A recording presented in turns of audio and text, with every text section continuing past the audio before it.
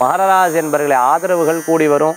Tailoring shop வச்சுட்டு இருக்கிறவங்க துணி சம்பந்தமான வியாபாரம் பண்ணிட்டு இருக்கிறவர்களுக்கெல்லாம் அனுகூல்யம் தேடி வரக்கூடியதாக இருந்துட்டு இருக்கும் பொலிட்டிக்கலில் இருந்துட்டு இருக்கிறவர்களுக்கு விசேஷ பலன்கள் ஏற்படுத்தி கொடுக்கும். நிறைய சோதனைகள் இருக்கும். அதனால் சாதனை படைக்கக்கூடியதாக இருந்துருப்பேன் இவர் சொல்கிறத நம்பலாமா? இவா சொல்கிறத நம்பலாமாங்கிற கன்ஃபியூஷன் வந்ததுன்னா எதையும் நம்பாதீங்க. இறைவன் சொல்கிறத கேளுங்க மனசு சொல்கிறத கேளுங்க. நிச்சயம் உங்களுக்கு நல்ல வெற்றிகள் கூடி வரும். இன்றைய தினத்துக்குண்டான அதிர்ஷ்டமான எண் ஏழு. நிற மஞ்சள் வழிபாட்டுக்குண்டான தெய்வம். சித்தர்கள் வழிபாடு ரிஷிகள் வழிபாடு விசேஷ வழிபாடு இன்றைய தினம்.